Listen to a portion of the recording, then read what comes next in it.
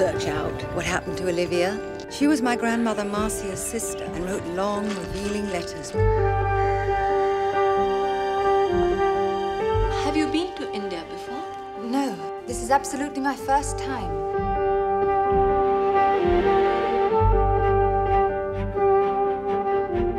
The Nawab's invited us to dinner on Wednesday. I like him. Oh, do you? So do I. I have a message for you. Exist. Oh, doesn't he? You've no idea how hot it gets. It can drive you mad.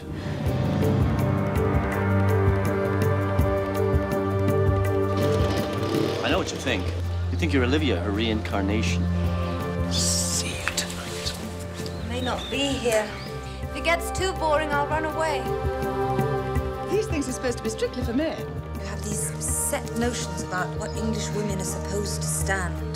Why should anyone tell me what I can't stand?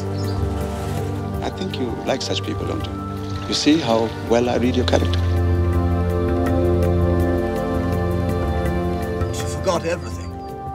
Forgot herself. India changes people just by being here. But you're still too much in your head, not in your heart. What have I done? What have you made me do?